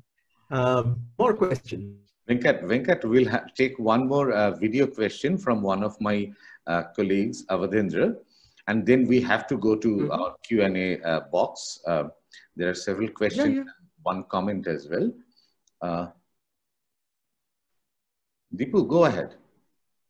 Yeah, uh, th thanks, Venkat. That was uh, absolutely magnificent. Uh, no, this is not my field, so so I'm coming at it from a slightly different angle, uh, which is I get the sense that reaching out to other cultures, or let's say books of other cultures, is a big part of this world literature thing. So if you're a German, you want to read uh, books from Asia. If you're from Asia, you want to read Shakespeare or whatever. What I get enough uh, is whether in this conception of world literature, the act of becoming in common commands any place uh, in thinking about world literature. So when you talked about Zubaan books coming home to you, that's really in, in an older 20 year back language would be a subaltern attempt and becoming in common as part of a world literature. And my sense was that doesn't seem to come enough. How do people make themselves into world literature? Not how powerful entities select what constitutes world literature. So, Venkat, uh, would you like me to answer that now or collect it? It's entirely up to you, whichever way okay. you want. Okay. Um, Avadhendra, this is uh, the act of becoming common, the subaltern elements that you mentioned, people becoming world literature. The grander picture that I gave was, for me, it is very important uh, in order to pursue um, a subaltern methodology of approaching history or literary history. And you heard my comment to Babu's uh, question yeah. as well. It is very important to unravel bigger institutional setups, right? Just like the Subaltern School did with the institution of the archive. That's Dipesh Chakrabarty's central question. How do you write the history of people where there are no documents, right? And so how do you write a history that has not been written or that has only been written in a particular way? For that, one has to go and blast, blast not physically, I'm not for violence, um, one has to say that, but metaphorically, one has to undo these major Eurocentric institutions, such as the library, such as the museum. Okay, now let's come to the second part of it, which is the act of becoming common. Once you have done that institutional critique, new avenues open up. In my case, it was very important for me to then go back to uh, something that I'd been meaning to write for a very long time, and uh, that was about uh, Hindi literature in Mauritius. Now, Hindi literature that comes out of Mauritius, and especially in this long essay that I wrote on Abhimanyu Unnuth, um, the great novelist. You know, he's like the Premchand of Mauritius. But and he used to be very famous in India in the 70s and 80s. Dharmyug, uh, Sarika, all of these magazines used to publish him, serial novels. Um, but um, he he says कि मुझे अपने ही देश में uh, पाठक नहीं मिलते right? His books were being published in india because india was the center of publishing books in devanagari. So there, and especially through his novels, but also through the history of Girmitiya, you then find out how much of bibliomigrancy, how much of that becoming common was happening through a class of people who were either completely, I'm going to use it in quotes, illiterate formally, but extremely literate, educated in major religious traditions, right? Um, stories of Alha-Udal, Ramayan, all of these got transmitted. This is a bibliomigrancy of a very different kind um, that happens, that becomes part of the indentured laborers' songs, You know, they call Mauritius Marich because it is that shape shifting, um, um, illusory place, not just the person. So a, that becoming, how do people make themselves? When we ask this question, if we move beyond uh, the middle class reader who tends to have access to particular kinds of materials, consumption, you know, using the word from, from Marx and Engels, that kind of strategy of affiliation, it's not just about, okay, next on my list is a book from Africa, next on my list is a book from etc. etc. It is about connecting with literature, and it's not just spatial, it can be temporal. It's also about connecting with literature in a different way with, uh, with that might come out of your own tradition. Now, I'll end this with, with a simple uh, example. I just reread Derek Walcott's um, Nobel Prize acceptance speech. It's about Ram Leela in the Caribbean, right? Um, I was doing some research on Rihanna, which led me to that, which led me to Derek Walcott. I mean, this is um, this is Caribbean tradition at its best. So there are different kinds of making themselves, making oneself common, um, selecting, building that program. I mean, and you know, several comments have been made about uh, Hindi magazines and Soviet bookland, but there are many other possibilities. You know, so hope that clears up or yeah, gets to the core of you know what you were saying. It's an important point, but it can't just be answered through the framework of a middle class reader, is what I'm trying to say. Because a lot of traditions, you know, even in in songs that you think uh, um, from the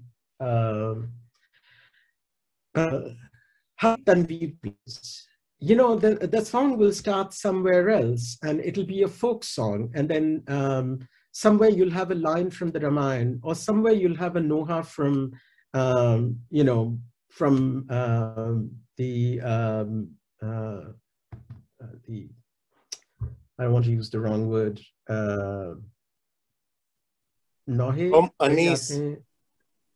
Yes, thank you. Um, and then I just finished reading, you know, think about becoming, becoming one's, uh, becoming common. Um, I just finished reading um, Sarayasma, um, you know, after um, I heard of his passing away. And there you see the bringing together of so many different kinds of traditions. It's not just, um, it's not just the middle class reader. Um, that, that suturing happens in multiple ways. Yeah? Okay. Venkat, we'll now go to the Q&A box. Let's uh, do that. We have some questions and some comments as well. The first one is from Balu Nair. Mm -hmm. um, Balu Nair wants to ask you if this transition from you know, physical books to digitization will have, uh, he actually uses, will it decimate the concept of world literature? Will it be a challenge, I think, that is something. Gaurav Sonic has two questions. Uh, Gaurav wants to ask you about the influence of the translation of Bhagavad Gita on German culture in early 19th century and whether that translation was instrumental in uh, the quest for a German self, let's say, against particularly against French domination, and whether it led to a rejuvenation of their national political culture, and then later, uh, Gaurav also mentions another point that how do you think or how do you account for the role of German Romanticism in this history? Uh, then somebody, uh, Shashwat Panda, uh, Shashwat's question is, could you please share your thought on piracy and copyright in the context of bibliomigrancy? I think you partly answered that when you were responding to uh, Sundaram, Ravi Sundaram's uh, uh, question. Then we have one comment from Anu Aneja. Um, Anu is suggesting that uh, since you made that uh, point about world literature being a politically charged category, she thinks that great books as another category probably mm -hmm. was able to hide the sinister designs more efficiently, probably. Mm -hmm. Uh, and then we have a couple of questions from Keshav Bansal. Uh, what role does access play in classification and subsequent transition of a book slash media to the category of world literature? How has this access changed or has it remained the same?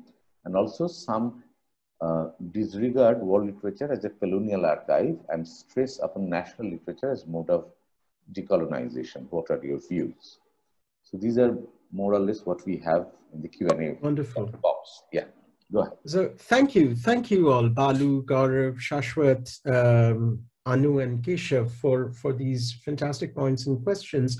Um, I'll try to touch upon uh, sort of the core of, because packed within your questions are also a couple of questions. So I'll, I'll try to select what I perceive here as, as um, uh, the most striking point. And Balu, um, with the one thing that I've, I've been trying to um,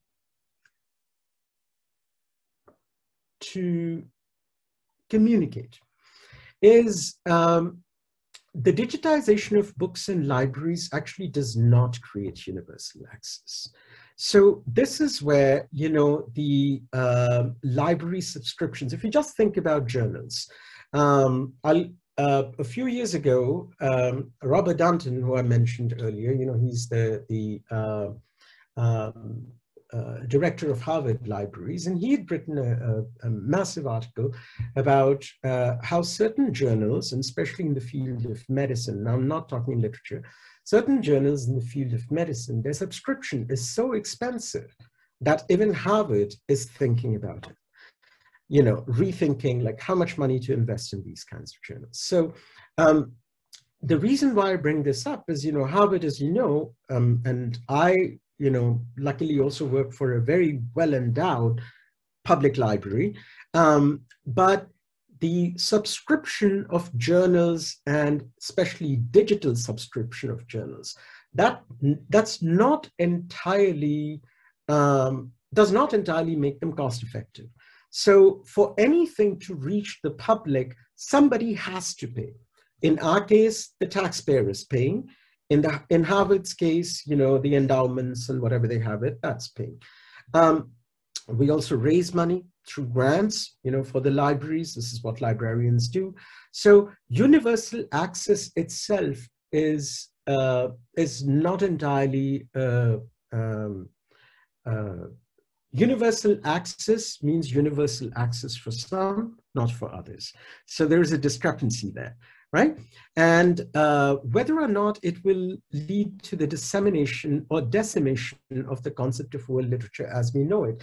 So on the one hand, um, this passing over from nation state to um, the idea of a borderless global uh, world literature, that hasn't quite happened because even now, the identification of literary objects is very much according to the national traditions uh, where they come in. And this is where, you know, years of our nationalist methodology um, that started in Europe in the 19th century, Baidik is smiling because he's also trying to undo it in different ways.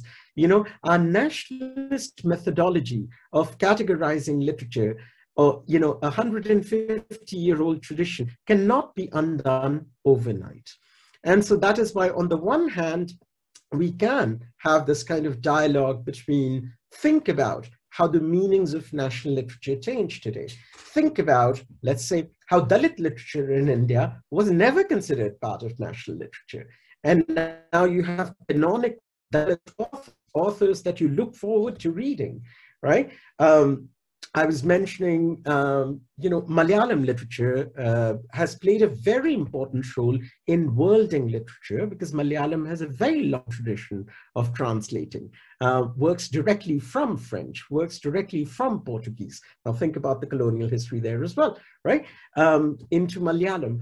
Does that mean that today when one thinks about Indian national literature, immediately Malayalam literary authors pop up? Unfortunately not, and that needs to be undone. So I'm trying to say is there is a much, much work needs to be done within the category of, of uh, national literature, especially in multilingual, rich multilingual traditions um, like India, in order for us then to be able to say, okay, these are the works of world literature. Last example that I will give, uh, this is not about universal access, um, but it's about, uh,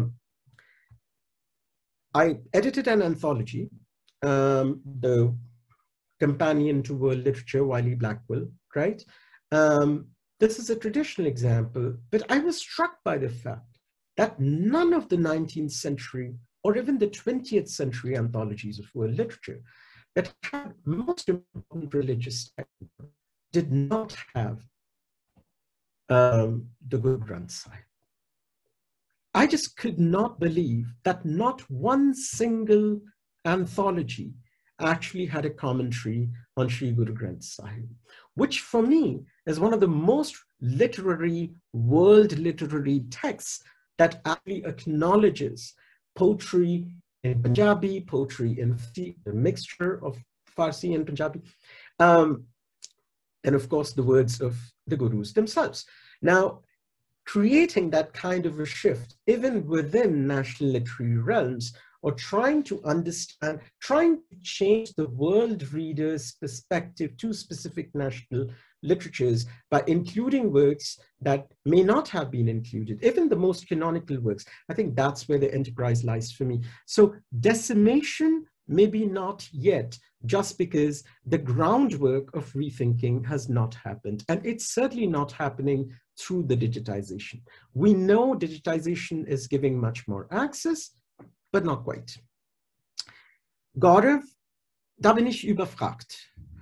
Ja, I won't be able to exactly comment on um, the impact of Bhagavad Gita, um, although I know, and this is something that I'm learning from your work, you know, why Bhagavad Gita translations become important. Um, they are being read. The one thing that I've learned, and this is another essay where Baidik and I both are publishing, and this is Debjani's uh, history um, of world literature. That's um, what I found was uh, there is a world, there, are, there is a readership that is created around the world, especially after Mahatma Gandhi in 1907, 1908 starts talk about the, talking about the Gita as a central, as, as something very important to him, and then Thoreau reads it. Um, before that, you know, um, no, and then Annie Besant and the Theosophical Society translates it. There's a long tradition of translating, and in Germany, it is translated, you know, way before the 19th century. But what exactly it has on German identity, um, in contrast with French culture, uh, that's not something that I have thought about. But we talk about it more. Um, in fact, I'll, I'll love to learn from you how to process that. Um, the notion of piracy and copyright, yes, that I have touched upon, Shashwat, so I hope to an extent that was answered. Um, Anu, um, very important point, great books. Yes, the great books tradition, right? So thinking one about timeless, about masterpieces, um, that great books tradition that is, that becomes the pedagogical part of world literature, right? Then you select a particular set of works um, that qualify as world literature or qualify as great books. Great books tradition, and this is, uh, that's why Zubaan is so important to me. Great books um, for the longest time did not include writings by women, or very, very few writings by women, and certainly no writings by uh, women of color. So there is that discrepancy, you know, when you say that the politically charged nature of world literature, the great books category, and especially with the canon wars in the United States in the 1980s, which continues now in a very different way after Black Lives Matter, uh, the significance of Toni Morrison in American national literature, or the significance of thinking about slave narratives as part of bibliomigrancy, but also as part of great books, uh, thinking about the entire Asian American experience. I think that's central to our rethinking of great books. And I would say same with India. So you can't just think about, you know, Premchand, you have to think about all of the women novelists from India. You have to think about Dalit novelists. You have to think about, um, I'm just speaking about the novel here. Um, so those great Indian books, the concept of great Indian books can also enrich a lot.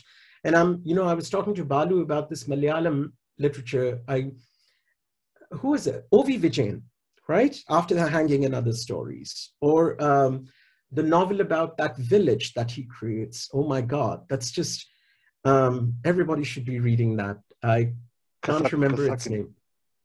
What was that? Yeah. Yes, thank you. It's such an amazing novel. It's very much like, actually, think about great books. Um, 100 Years of Solitude, placed in the local, invested in the local, but truly speaking to the world.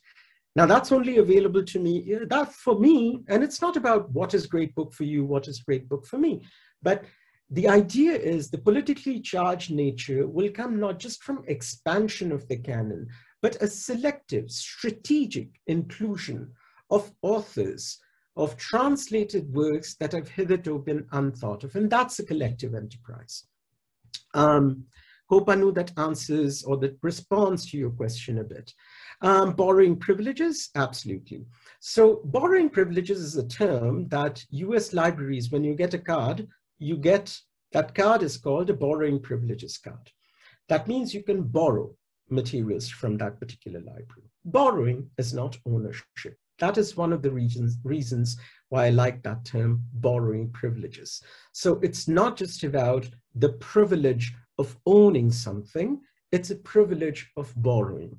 And that borrowing for me becomes important when you think about the difference between sampatti and sampada. Sampada is something that you can share, right? You have it as, um, I mean, at the end of the, my book, I say, um, if national literatures are literatures of inheritance, world literature is a literature of inhabitants, that we actually try to inhabit a world with which we have not uh, connected with before.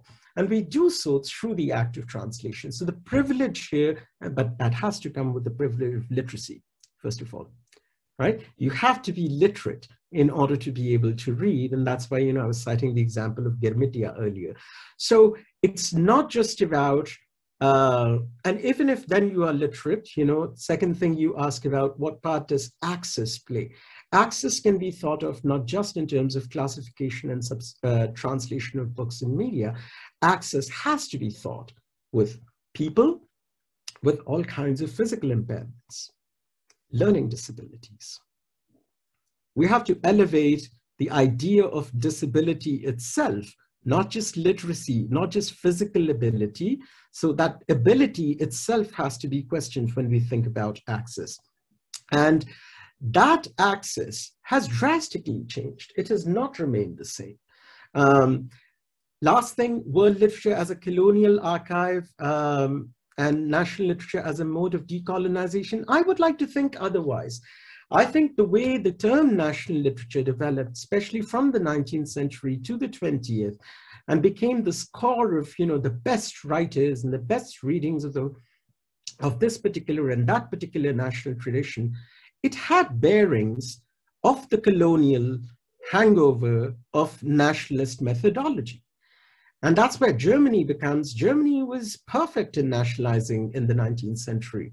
And this is where, you know, the, the idea of national literatures, I mean, think about English literature. I don't work on English literature, but the, the establishment of, of English departments or creation of an English syllabus for the colonies, this is Gauri Viswanathan's word, right? That nationalization itself had hints of colonialism. So for me, world literature today becomes a way of thinking um, against this kind of ethno-national reification of literary artifacts.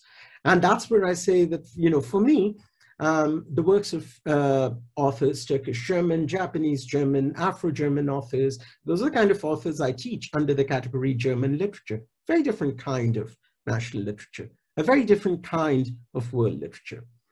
Um, God of Romantics, uh, for German Romanticism, you know, the there are many, many um, sort of ideas about uh, the, um, what is it? Um, there's a connection in the early 19th century, you know, with Shakuntala, with, with Herder. Uh, so there's different kind of poetic romanticism, but um, right with the Bhagavad Gita in the early 20th century, I'm not entirely sure. What I can think about actually is, you know, Siddhartha gets published in the early 20th century. And I'm also thinking of what is uh, Edwin Arnold, isn't it? Light of Asia? Light of Asia that gets translated and that gets rece received in a different way. And of course, 1913, Gitanjali. Um, Tagore gets the Nobel Prize, different story. So it, it, it's not connected with romanticism, but it's a different kind of poetic tradition that is then introduced. I hope I've covered all of these questions. Yes, Venkat. Boy, you guys are brave. It's pretty late in India. but thank you so much. I think we have uh, exhausted all the questions and comments in the Q&A uh, box. Thank you, Venkat. Thanks a lot. As all my colleagues said, we are just transfixed. This was fascinating. Thank and you. I hope that very soon we'll have in-person uh, sessions as well, and we'll be able to host you in CSDS very soon once again. Thanks Thank a lot for taking your time out to have this conversation with us. Thank you. Thank you. This was truly an honor. I want to thank everybody who stayed up this late. It really means a lot to me. And to see so many um, old friends come and so many newer conversations beginning. So thank you again, Baidik. This was completely, the honor and pleasure was entirely mine. Thank you for being such an engaging audience. Thank, Thank you. you so much. Have a great day. Bye. Bye-bye. Bye.